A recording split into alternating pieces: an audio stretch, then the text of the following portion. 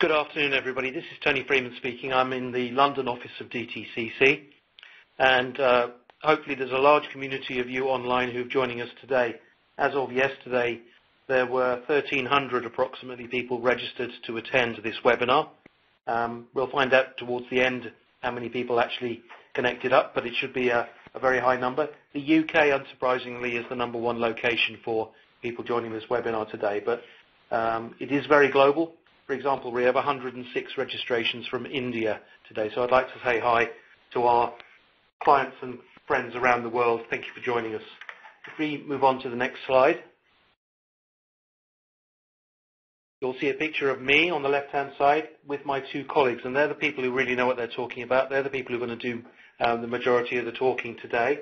Uh, so as you can see, I'm Tony Freeman. I'm in the government relations team at DTCC in uh, London.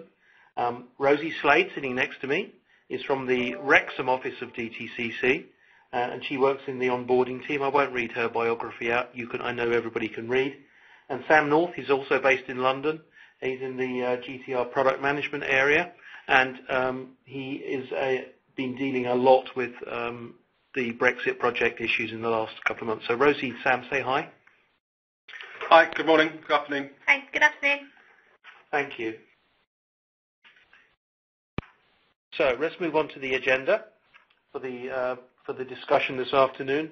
Uh, as you will see, we do have a PowerPoint presentation, but this is very much an information sharing opportunity. We want to um, provide you with the opportunity to understand the process that's, uh, that we're going through because of the Brexit situation and give you the opportunity to ask questions. So the webinar is structured in four parts. Um, we're on part one right now, which is where we are and the, the big picture, the high-level overview of how Brexit is impacting us and our clients on a global basis. Sections two and three are where Sam and Rosie uh, get their chance to shine. That will be for about half an hour or so in the middle of the hour long time frame.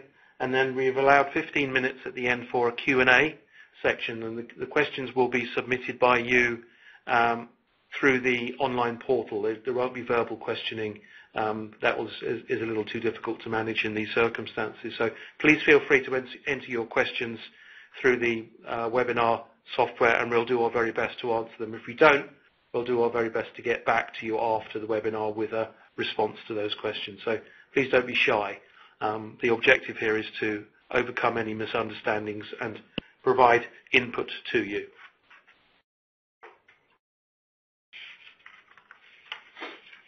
So we're now on the first part of the presentation. I will talk for a few minutes about the, um, how DTCC and our clients are impacted by Brexit and how we are planning to respond. Um, DTCC is a multifaceted business, as I'm sure most of you will know.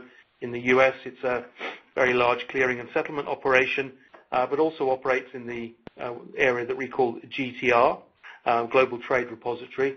Um, and we have various data businesses and the area of the business that I come from historically, which is ITP, uh, formerly known as Omgeo, uh, institutional trade processing, which is the middle office trade processing segment of the business. They're all impacted by uh, the Brexit project in, in different ways. Some are, some are very lightly affected, some are very di directly affected.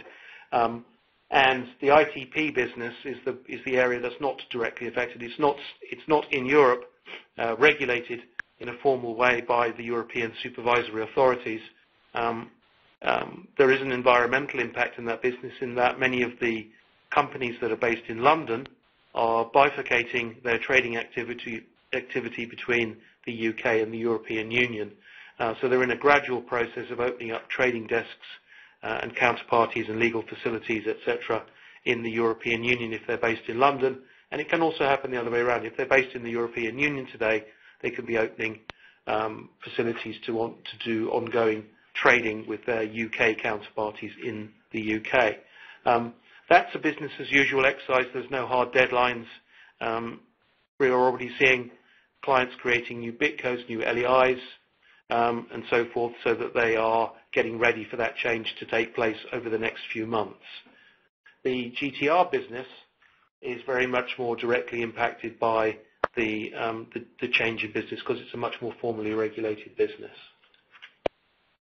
We'll move on to the next slide now. So the, the, the GTR Global Trade Repository business is very directly impacted by the Brexit project. That's because it's regulated by ESMA. It performs trade reporting under the terms of the EMIR regulation um, to fulfill that regulation, and we are supervised by ESMA itself. They are our supervisor and regulator combined. Um, therefore, the change that's occurring to the GTR business is much more um, uh, is, is, a, is a much more abrupt change at the Brexit weekend, um, which is 29th of March next year. In case anybody didn't know that date, it's I think it's kind of tattooed on all of us here as, count, as we count down towards it. Less than 200 days away, quite a lot less in terms of business days if you think about the uh, weekends and, and Christmas holiday period that comes in between. And, and GTR is a large business for DTCC globally in, and in Europe. The, uh, we have seven trade repositories on a global basis. Um, there are about 6,000 clients um, of that global GTR business um, including 45 regulators. They're not really clients, but they're recipients of the data. So it's a very complex um, business that we're operating. And the volume of transactions and the activity in the GTR business is extremely high. Um, there are around 3,500 clients in Europe, um, 500 million messages per month. And there are 42 regulators in the European Union who receive data from the GTR databases. So uh, the change is a complex one, and it will be happening over the Brexit weekend. There is a lot of work that can be done ahead of the Brexit weekend, but there will be some stuff that is done as of the 29th of March next year. Um, and Sam will be covering that in a lot more detail a bit later on in the uh, in the discussion. Okay, so let's move on to the next slide. What I should say before we cover the content of the next slide is that we are committed to providing a trade reporting service in both the EU and the UK post-Brexit. Um, nobody should assume that there will be a transition period or there will be any sort of delay. We are working to that 29th of March date as a hard Brexit, no deal scenario, um, which we weren't, but we are working on that basis and have been for quite some time, and we think everybody else should be doing the same thing. That, and is also the instruction from our regulators. Um, so we are committed to ongoing service. 29th of March is the date. Post-Brexit, clients will be sending us the same messages the same, to the same location using the, the same GTR infrastructure. There will be minimal changes taking place. Uh, and this is a very key point. I want to stress this point. We can't advise clients on what is reportable. It's up to clients to decide themselves what is reportable and, and who it's reportable to. Um, and if possible, and Sam will cover this in, in a good deal more detail a bit later, novation should take place before the weekend leading up to the Brexit implementation if it's possible to do so. So as much preparation as possible is a good idea. So on slide six, you'll see that there are, uh, on the left-hand side, there is one trade repository, which we call DDRL. Um, and on the right, there are two trade repositories, DDRL and DDRIE. DDRIE is the new trade repository that's been created in Ireland. It's already in existence, and it will be the trade repository used to report trades to ESMA for the EU reporting requirement under EMIR after the 29th of March next year. DDRL will uh, become a UK reporting entity. It will be reporting trades to the FCA um, from the 1st of April next year, which is the first working day of the uh, post-Brexit regime. Now, this, all this information has been provided to our clients in emails. It's available on our website. Um, Rosie's team, the onboarding team, and the relationship management team are available to answer questions on these on these areas. So this isn't new information that's being provided here. This is a refresh of information that everybody should already have. Let's move on to the next slide. So what does the GTR business need to do? And, and there are five action items here on the uh, listed on the on the screen. Number one, establish new accounts for clients with the required trade repository. And this is Rosie's area of expertise, and we'll be coming onto that in a good deal more detail in a, in a minute. Um, implement the operational infrastructure for the UK trade repository. Um, that sounds fairly straightforward, but is a little bit more complicated than it would appear right now because we don't have the full regulation applying in the UK as yet.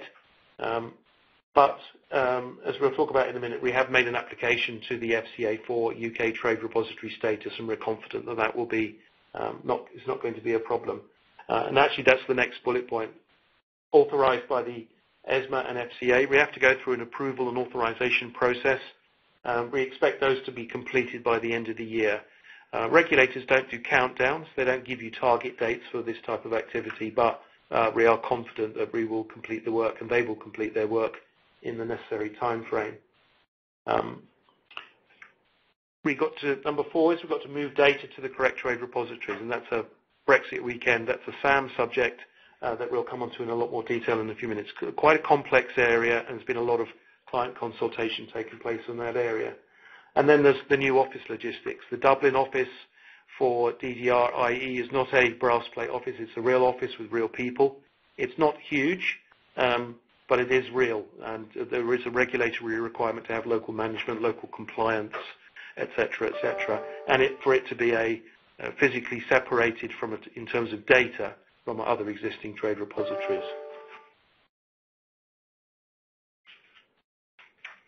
So where are we up to? Um, this is slide 8, Brexit project update. Um, the, as I said already, the DDR-IE legal entity in Ireland has already been set up, and the trade repository application has been made to ESMA. ESMA already regulates, and we are an approved trade, repository right now, so that should not be problematic. Um, we're not doing a new, um, brand new application. Um, there is a DocuSign process, which is an electronic process for novating contracts and creating new on, onboarding entities. Rosie will cover that subject in a bit more detail. And we've looked at uh, we've created a working group amongst our clients to look at the the novation and position transfer situation, um, which Sam will be covering with. And uh, we know that we already comply with the FCA trade repository authorization process um, because um, we have uh, extensive informal contact with the policymakers and regulators in the UK. So. The next slide is a timeline. Everything is working towards the Brexit weekend of 29th of March next year, and you can see the milestones. I won't go through them all in, in any great detail. Um, everybody can read those those timelines.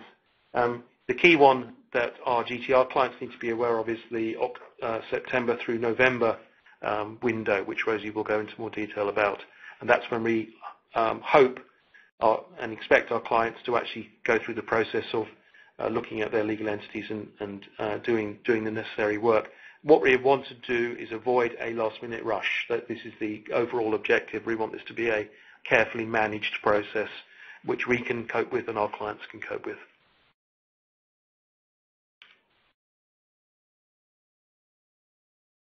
Okay, we're moving on to the second and more, more meaty part of the presentation now. What do clients need to do and by when? Um, and I'm going to introduce you again to, to Rosie, who's going to cover the um, novation subject in, a, in a quite a lot more detail than I've done it right now. So Rosie, over to you. Thanks very much, Tony. Um, so to start with, um, we're going to have a look at what the actual onboarding strategy is when it comes to uh, DDR, i.e. ESMA. So um, for anybody who currently uses the ESMA service for GTR, you will have an existing user agreement in place with our DDRL entity, which currently offers the ESMA service. Post-Brexit, as you could see when Tony was going through his slides earlier, um, the ESMA reporting service will be um, provided by DDRIE, which is the new Irish entity. Okay, so there are a couple of parts to the onboarding um, process for Brexit. So firstly, we're going to look at the actual DocuSign outreach, um, which is to sign up for a new user agreement with DDRIE for ESMA reporting.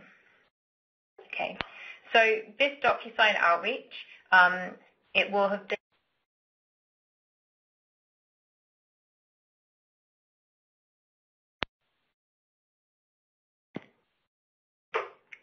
Sorry, I think we just went on mute there yeah. for a moment for some strange reason. So I don't know how much people missed, but uh, Rosie, carry on. Yeah, I'll um, I'll just start back cover quickly what we missed there.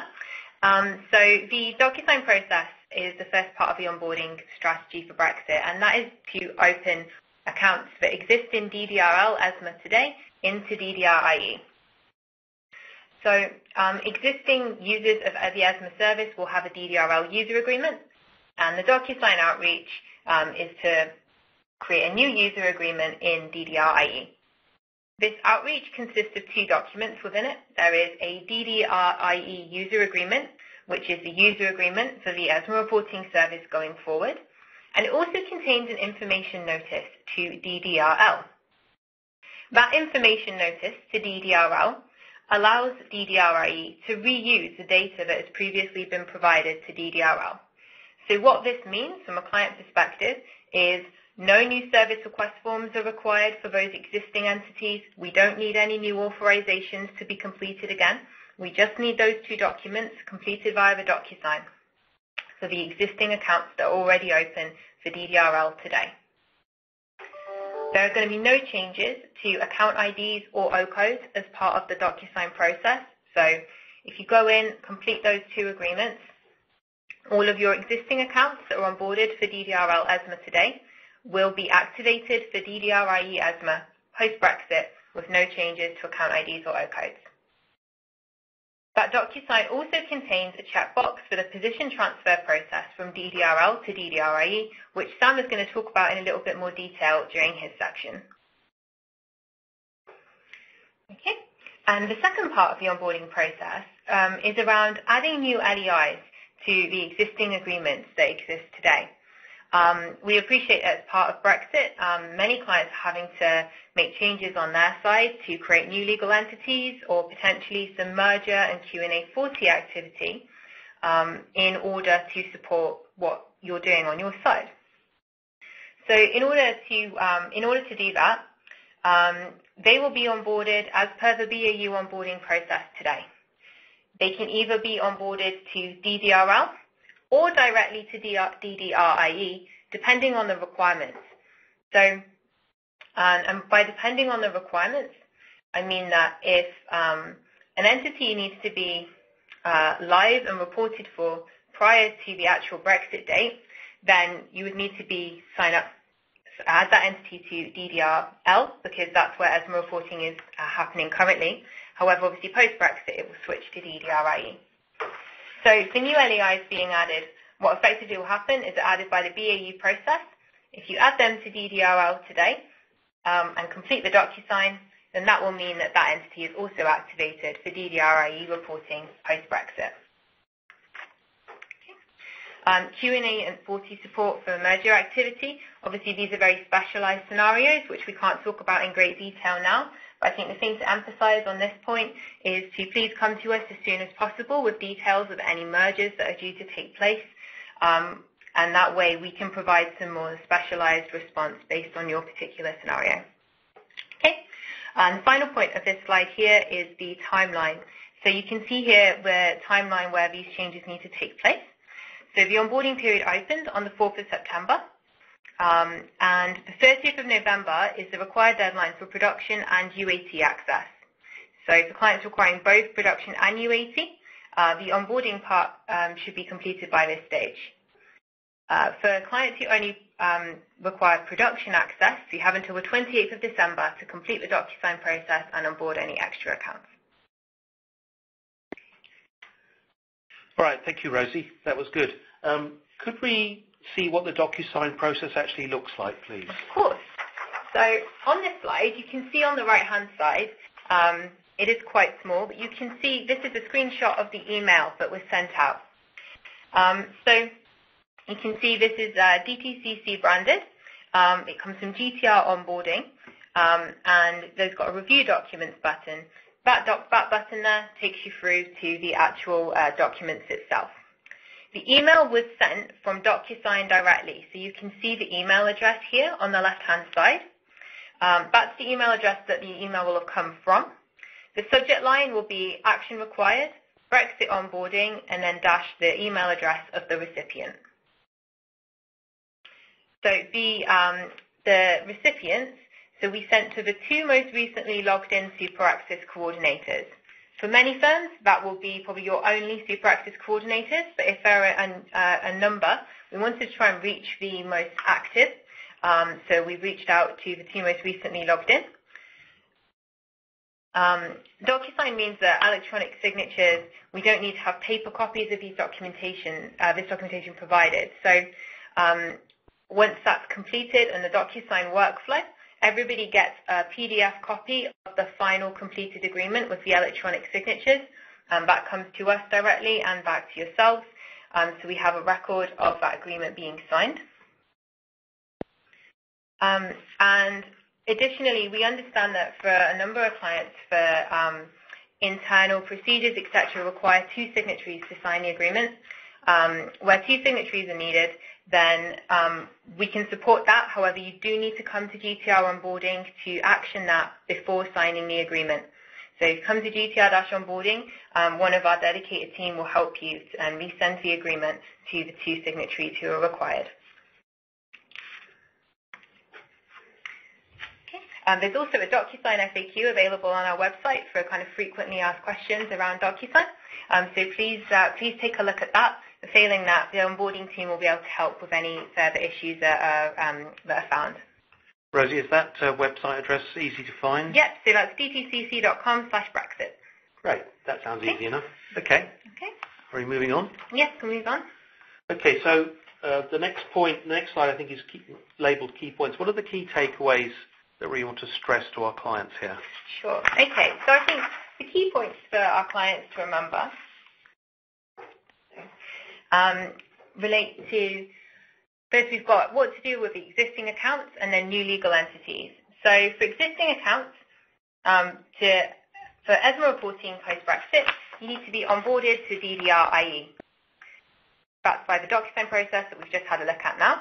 Um, if you don't require FCA reporting, then you can give notice to terminate your DDRL agreement, um, which will take place as of the change of the authorization from DDRL to DDR-IE. So that's if you don't need FCA reporting going forward, um, please let the onboarding team know and we will send you a DocuSign process um, to um, provide that notice. So FCA reporting, so for our uh, clients who require reporting to UK FCA going forward, um, we need to be onboarded to DDRL. Um, to, and to be onboarded to DDRL, well, currently you already have a DDRL user agreement, as this is what ESMA leverages today. So since you already have an agreement, um, there is no further action to be taken to be activated for FCA reporting. If we don't hear otherwise, then we will activate everybody to be able to use FCA reporting going forward post-Brexit. Um, to be onboarded to both, obviously, we'll leave FCA will be automatically activated and then complete the DocuSign in order to onboard for DDR-IE ESMA. Okay. Um, and in regards to new accounts, as we discussed before, I think the important takeaway there is to um, add the entities uh, required, so any new LEIs that have come online, um, mergers, etc., contact us about those, um, and complete the DocuSign process. That will cover all of your accounts, including any that are onboarded after the date that the DocuSign is signed. Okay. There's a decision tree available on the dtcc.com slash Brexit website, which takes a look at which repositories you need to be onboarded to um, based on where um, your reporting obligation lies. So I'd recommend to have a look at that as it's a good visual representation. And we also have an onboarding FAQ available on the website um, where you can find some further information around the onboarding process as well as the dedicated Brexit, um, Brexit DocuSign FAQ.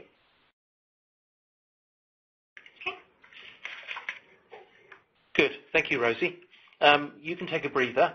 Um, we are getting quite a number of questions coming in, so we're going to try and talk and line up which questions we can answer um, in, in, while um, Sam is talking. And I want to remind everybody that this uh, webinar is being recorded, so I, I can metaphorically hear people's pens scratching away trying to write down everything that's been said. you will get a chance to to re-listen to this uh, to this webinar um, and that will be available from hopefully I think early next week. So it won't be too long before we can make that recording available. Okay, so we're going to now hand over to Sam. Um, Sam is right in the weeds of technical details about how the position transfer issue was taking place. Had a lot of consultations with our clients, and I know he's already looking forward to spending the weekend sleeping under his desk, uh, the weekend of the 29th of March next year, where he's probably not going to go home for about 72 hours, I I would guess. I'm giving you fair warning here, Sam. So, Sam, over to you. Tell us about the the activities that are going to take place regarding position transfer, particularly over the Brexit weekend. Sure, Tony. No problem. Um, It is certainly going to be a busy weekend um, come the end of March. Um, so what you're looking at on your screen is a very high-level diagram of essentially where we stand today and where we want to be um, post-Brexit. You'll notice the legal entities along the top of the diagram and the various data stores within the boxes on the diagram. Um, how do we get to that future state? Well, there's a number of activities that need to take place. Um, firstly, Um, DTCC is going to migrate all trade data from the DDRL entity into the DDR-IE entity. Um, DDRL will cease to be an EMIR TR post-Brexit, so all data will be migrated to the new entity. Um, this includes all historical data, expired mature trades. The entire data set will be under the DDR-IE entity. Um, to drive this migration, we will obviously need an instruction from clients. So that will be the DocuSign that uh, Rosie outlined previously. That has already been sent to you, so you should have that already, um, which will need to be completed um, for us to do that migration. Secondly, DTCC is going to identify FCA reportable trades through the domicile of the counterparty LEI. Um, so we will look at the counterparty LEI and validate that against the GLEIF database. The specific field we will use in the GLEIF database is the legal address country field. Um, and we will identify anything that will become FCA reportable using this logic um, via the GLEIF database. Once we have identified those um, open trades, we will copy all open FCA reportable trades uh, back to the DDR-IE entity. Um, a couple of points, key points with this is that the FCA have advised us that they only want open positions. No historical data will be in the DDRL FCA trade repository, only open trades. Um, the other key point is that this is not a migration, so to speak, it is more of a copy. So we will copy these trades over to the FCA TR, um, but we will take no action in removing these from DDR-IE. Um, Post-Brexit weekend, it will be the client's responsibility to essentially reconcile the trades. If you have trades in both TRs, Uh, is to reconcile that data, uh, and then take any remedial action um, if required. Thank you, Sam. Very clear. Uh, but I'm sure you're going to get questions, um, which we'll try and deal with. I think we're actually a little bit ahead of time, which is good because we are getting quite a lot of questions coming in. So um we want to give time to answer those. So um you've got another slide here. It's got quite a long list of items on here. What are the other critical items that people need to consider here? Yeah, sure. So um, just for some context, I suppose, around the project delivery. So we are looking to deliver the Brexit project using an agile methodology. We will have two-week sprints starting from the middle of October.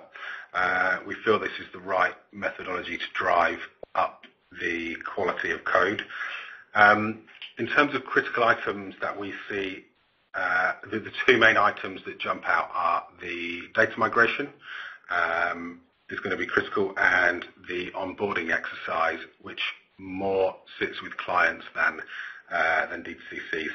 We need to ensure you are onboarded to the correct TR, um, and also that the data is in the right place. Next up, around the submission methods.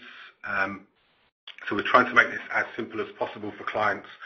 So firstly, submission methods will remain the same. We will have SFTP, MQ connectivity available, um, and obviously the web portal as well.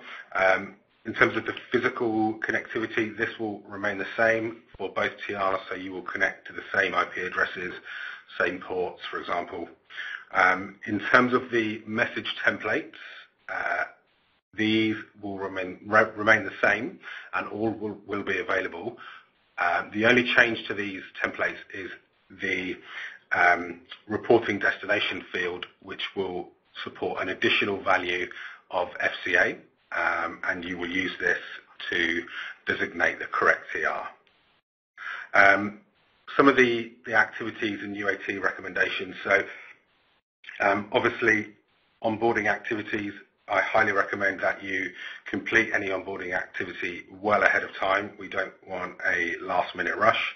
Um, From a UAT perspective, I I don't see that you will need to do huge amounts of testing at a field level on your submissions. um, There's going to be no changes to the validation rules at um, the point of ingestion. These rules won't be changing other than the reporting destination. Um, in terms of testing, I would say that it's more around the eligibility of where you need to report that trade, um, and obviously the routing on our side as well, how we route that trade to the correct TR based upon the reporting destination. Um, reconciliation is always a hot topic with EMIR reporting. Just some key points that I would like to point out. There's going to be no Uh, reconciliation between the TRs, so there won't be a rec between FCA and EMIR reportable trades.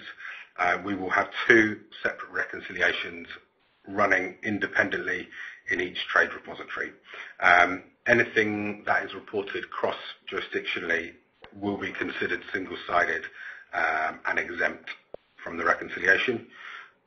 Um, in terms of additional services, all the additional services that we offer today um, will obviously be made available um, for FCA reporting. So that includes the CRD and CRDE, um, and obviously the global portal as well.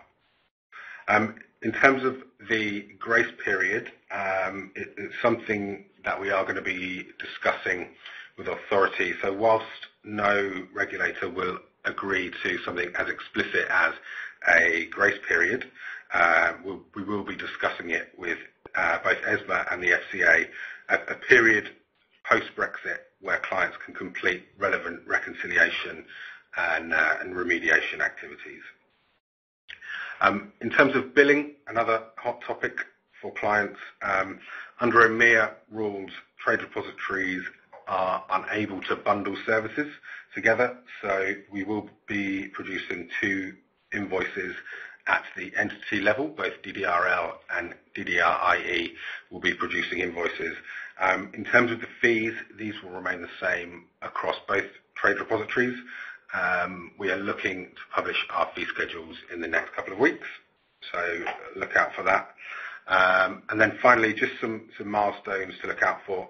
The functional change document um, is being drafted at the moment and will be published to the learning center in the next couple of weeks. This will go into a lot more detail on what you will need to do um, from a technical perspective to be ready to report to both TRs if required.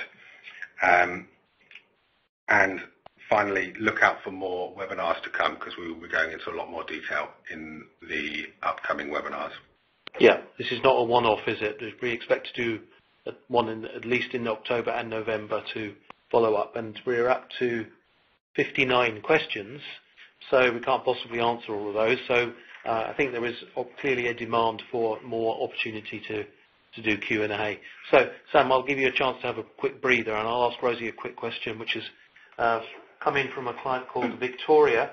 Um, it's about Hong Kong. Hong Kong Monetary Authority uses DDRL for its reporting right now. So can you explain how that's affected and what will be done there? Yeah, sure. So for the Hong Kong um, Connectivity Service, there's no change required there. It will continue to leverage the DDRL contract. So if you currently utilize that service and wish to continue to do so in the future, you don't have to take any action. Um, that will be uh, staying exactly the same as it is today.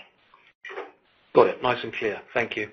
Um, Sam, I've been juggling while you were talking, and I've got four questions lined up for you, if you don't mind. Sorry to throw these curveballs at you. Um, A client called Khalid has asked a question. Can clients use the same UTI across the two TRs, trade repositories?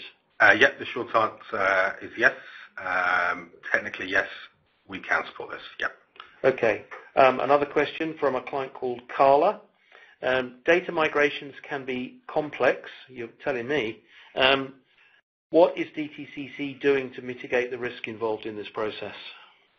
Yeah, sure. Uh, I very much agree. I would say, firstly, as a data migration, we look at this as a fairly simple one.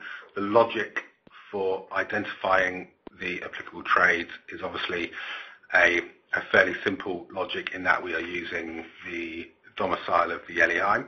Um, secondly, the data model is the same across the TRs, so essentially the reportable fields are exactly the same. So it's, it is essentially a copy and paste.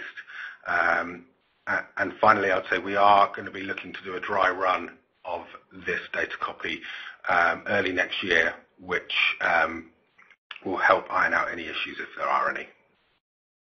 Got it, Sam. Thank you. A couple more for you. Uh, sorry to bombard you. Um, from a client called Marco, will DTCC be making any changes to the data during the migrations? I think this is a fairly short answer, isn't it? Uh, yes, it is. We will absolutely not be touching the data and updating it in any way. Right. During the migrations.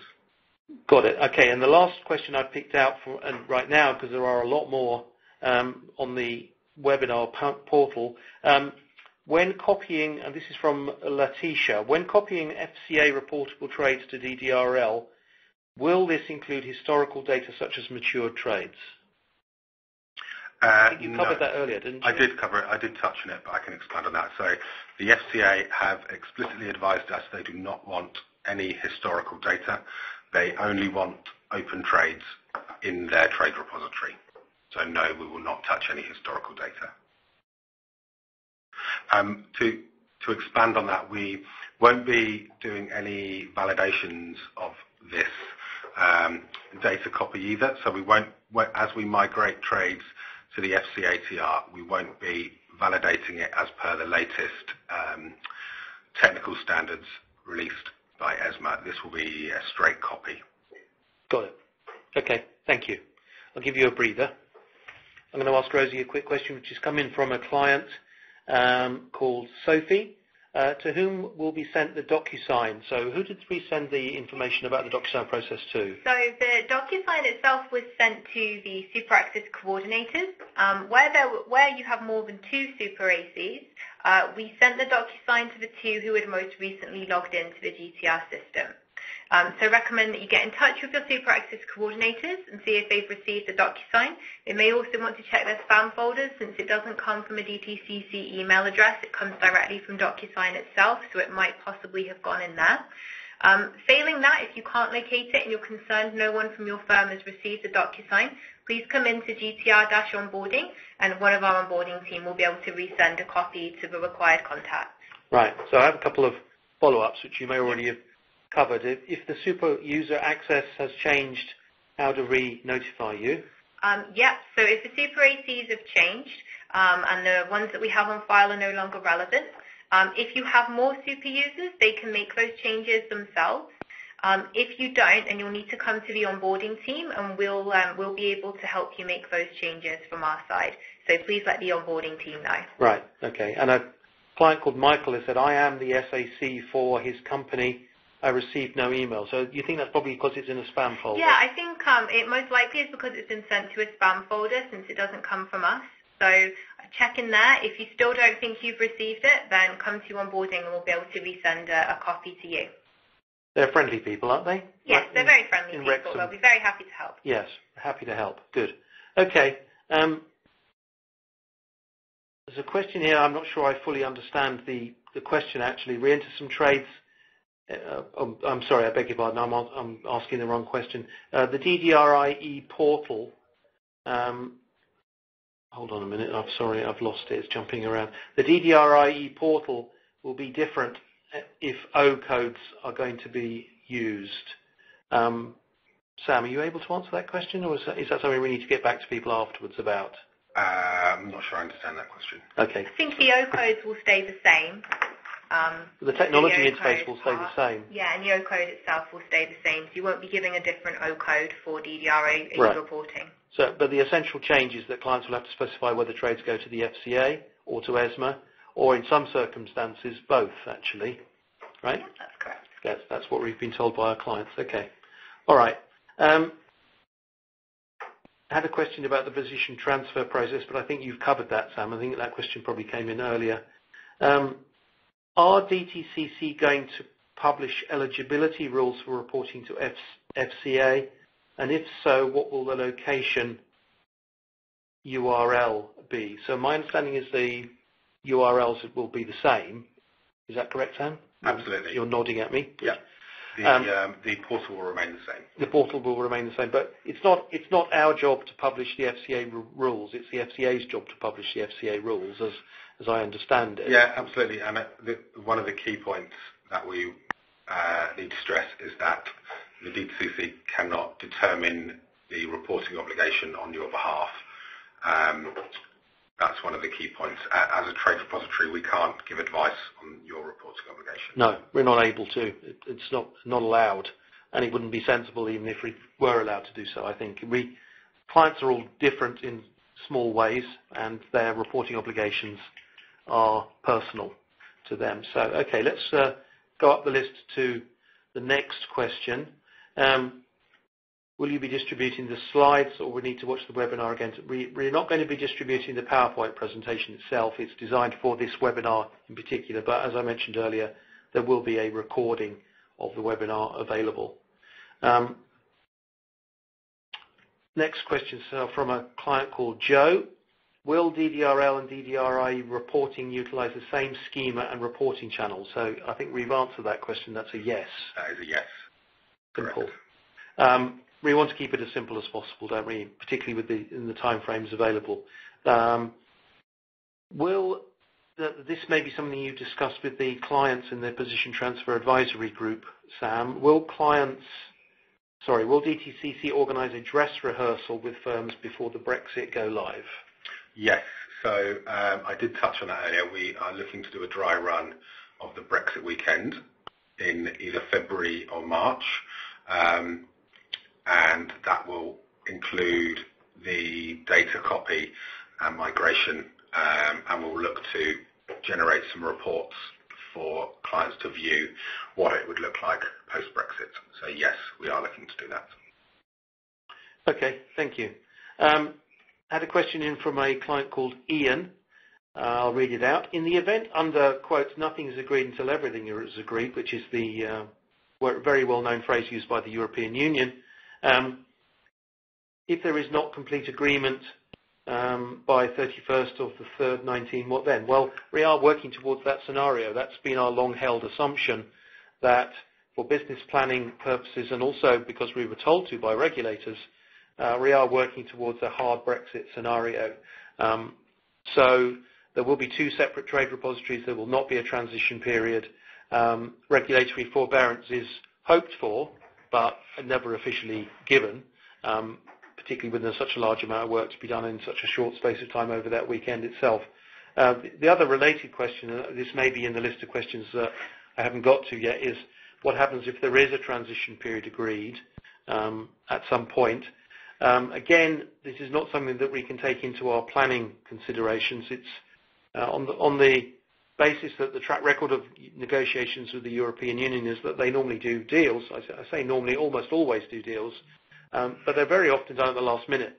Um, so we can't change our plan, and we don't think our clients can change plans two or three days before Brexit Day on the basis that peace and love breaks out between the EU and the UK and a formal transition period is, agreed. So we're not working on that basis and we don't think anybody else should work on that basis.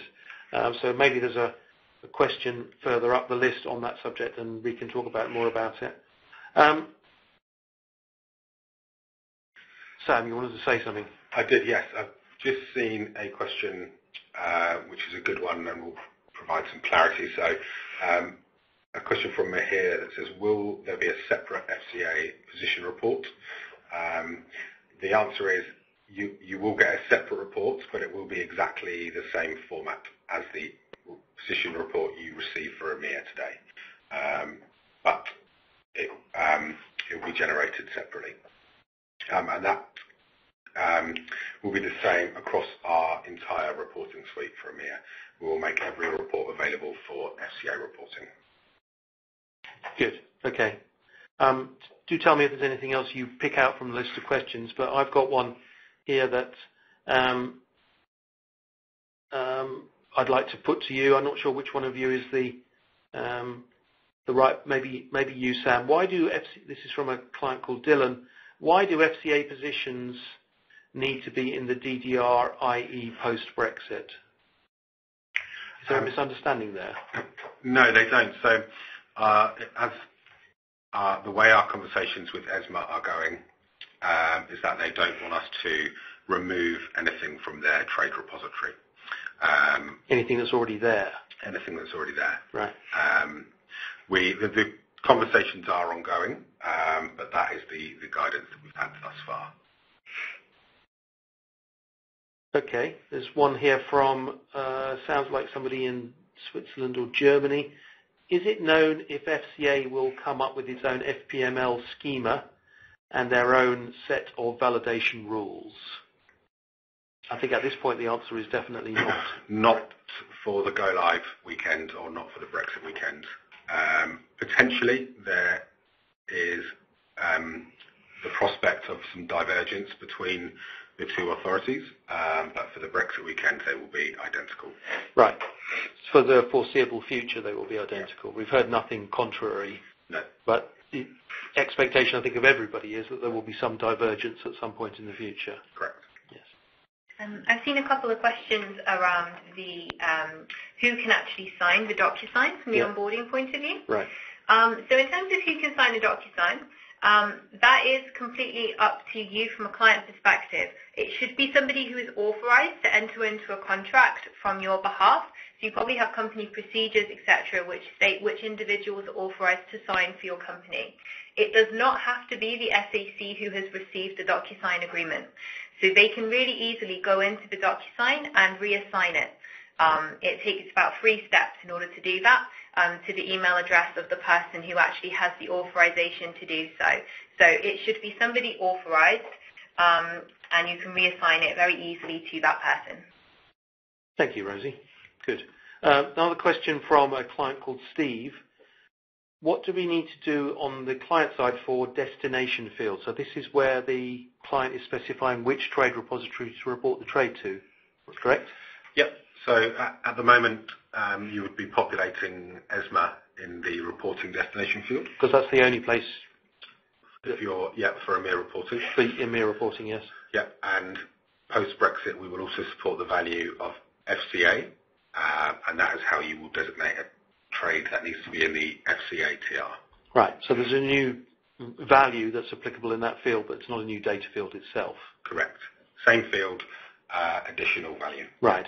And this is something that already exists in other parts of the world, isn't it? It's not entirely new functionality.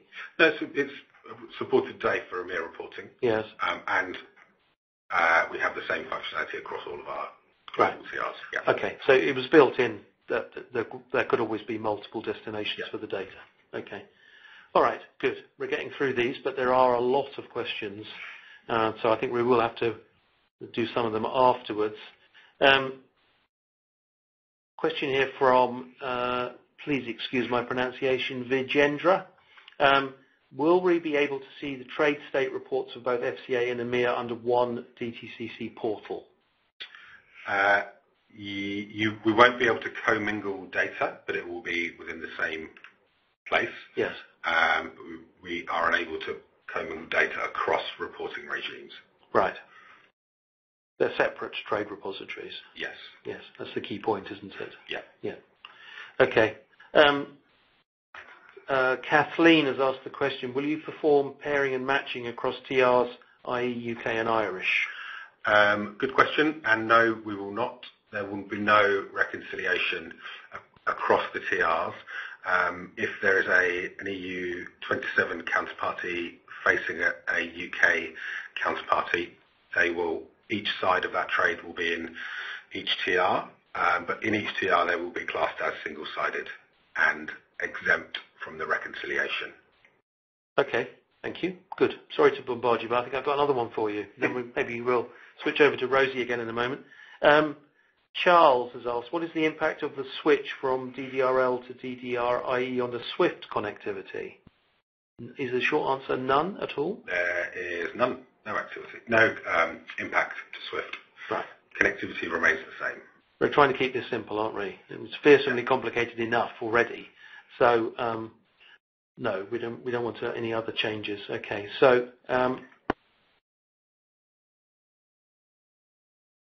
Michelle or Michele, um, pardon my pronunciation, maybe is if we are currently reporting to the GTR through DTCC, is there anything we need to do as a uh, result of this change? Well, I think that's the whole point of this webinar. We've covered it is absolutely mandatory, we believe, for all clients to look at their reporting obligations post-Brexit. Um, we, we have heard from some clients that um, they believe this is somebody else's problem. That's, not the words they use, but that's the kind of meaning that uh, they rehear in that they will be told what to do. Uh, this is somewhat prevalent, certainly not across the board, but some buy-side firms think, well, our brokers and custodians will take care of this issue for us and they'll tell us what they need to do. Um, everybody's reporting obligations are their own reporting obligations, and the, everybody needs to decide on their own reporting obligations. So we believe all our clients need to look at this, and they, they may end up not doing anything. It's, that's perfectly feasible. That there, there, will be no activity required.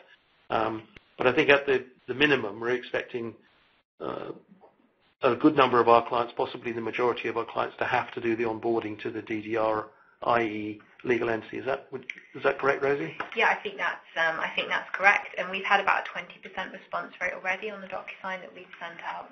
Which is not bad. Yeah, not bad. Given that it's what we're three weeks into the process. Exactly, yeah, three weeks. Three weeks out of three months is, is not too bad if we got 20%, but we want to get that figure up as high as possible in the September, October, November timeframe uh, to make it a manageable process for everybody.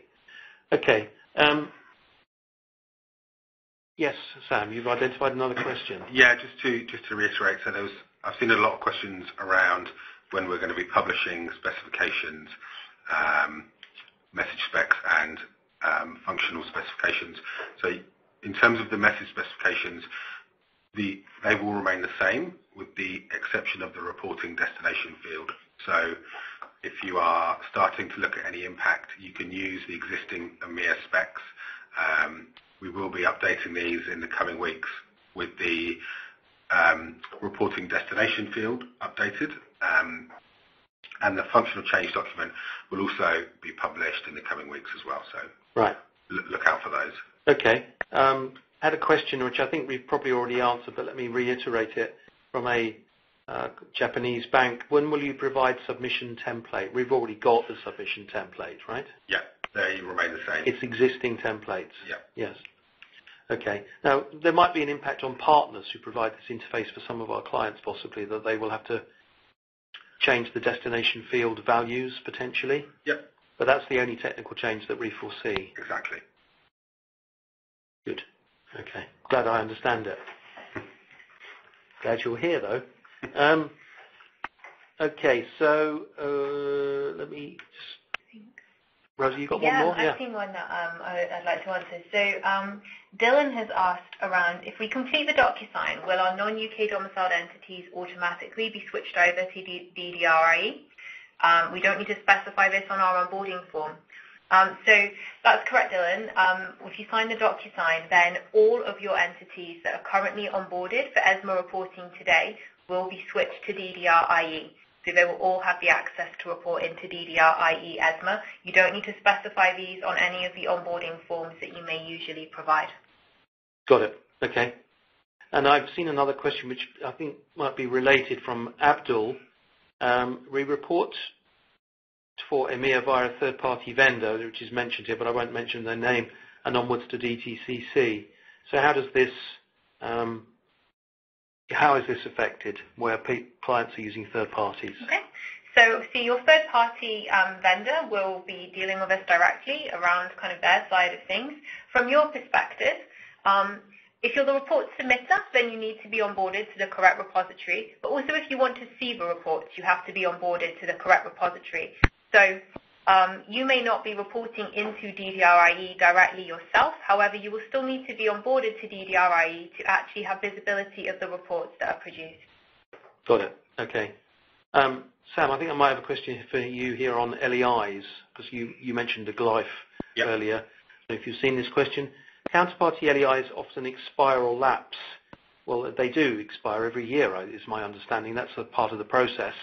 Um, how GLEIF database will handle efficiently. So how will we, how do we keep that up to that information fresh? So we have a, uh, a feed that is more or less real time from GLEIF that we check. So, um, so we're not using stale information.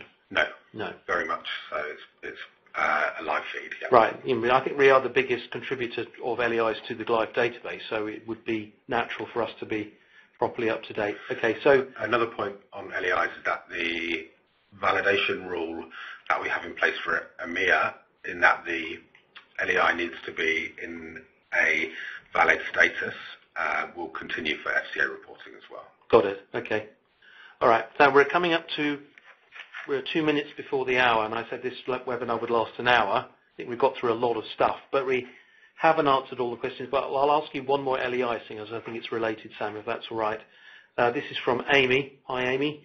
Um, whose LEI is used to determine the reporting domicile, the reporting firm's LEI? So it will be the entity with the reporting obligation. Um, so um, the uh, counterparty one much of the time. Got it. Okay. All right. So um, I think we could go on and on answering questions there because they're still coming in. Um, we've answered quite a few, but I don't think we're going to be getting through the remainder of these questions. So I will call it a day at that point. Um, and remind everybody that please use the resources available that have been outlined as email addresses. There are websites. There is Rosie's extremely friendly team in Wrexham to answer onboarding questions, DocuSign questions. And clearly this is a subject that is receiving widespread attention from our clients, which I'm very pleased about. That's exactly what we wanted to happen. Um, and that we will need to do more of these discussions to allow people to ask more questions. So um, an hour, doing this for an hour is, a lot of information, complex subject. You can only do so much, but I want to be respectful of everybody's time. So I'll say thank you very much to uh, Sarah for organising us today.